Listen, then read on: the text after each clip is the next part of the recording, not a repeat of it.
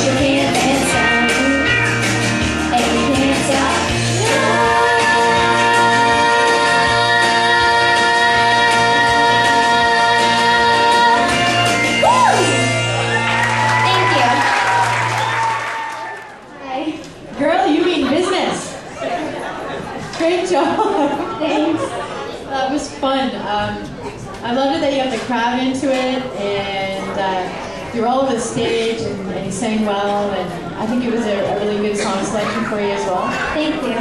And uh, I can't believe you're only 12, and uh, keep at it. I can't wait to see how you develop and uh, how your voice develops. And uh, you're sure you're not afraid to get up there and do your thing, so that's awesome. Good job. Thanks.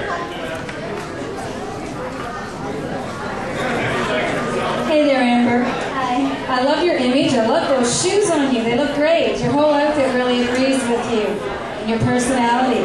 You're very mature. You have a very mature presence for only being 12. Again, I would agree with uh, Mel here is that you really, I, I would enjoy seeing you, you know, anywhere from two to five years from now, you could be really, really smashing. You just keep developing yourself. You're already so great for this age, so to keep developing would just make you, you know, awesome, phenomenal um, a few years from now. You have a nice vibrato to your uh, voice as well. I would only say smile more. That's all. You got a pretty smile, let's see it more. Other than that, um, I was a little worried about your opening speech. We didn't hear you. Was, your voice is a little meek, but when you started singing, you came out really strong. So that was really impressive. Um, you really pulled off the vocals and the lyrics. You have nice little subtle eye expressions there. I really enjoyed that. Um, and I loved how you did your hee-haw and got everyone to clap. It was really great. Thank.